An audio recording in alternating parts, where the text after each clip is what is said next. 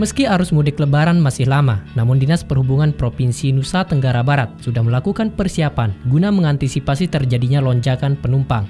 Kepala Dinas Perhubungan Provinsi Nusa Tenggara Barat sudah melakukan pertemuan dengan beberapa stakeholder terkait untuk membahas persiapan arus mudik lebaran kali ini. Alhamdulillah ya, eh, kita sudah kumpulkan semua eh, pihak-pihak terkait ya sudah kita rapatkan seminggu yang lalu itu semua Kadis Perhubungan Kabupaten Kota kemudian eh, Dirlantas kemudian BMKG PU BMKG itu yang apa masalah cuaca itu meteorologi.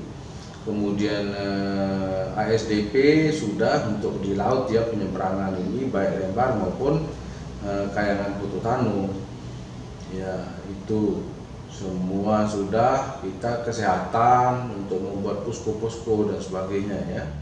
Dinas Perhubungan memperkirakan lonjakan penumpang arus mudik tahun ini mencapai 15 hingga 20 persen, baik melalui jalur darat maupun jalur udara.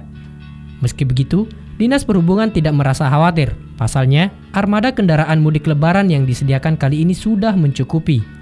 Dari Mataram, Nusa Tenggara Barat, Lukmanul Hakim, Get TV.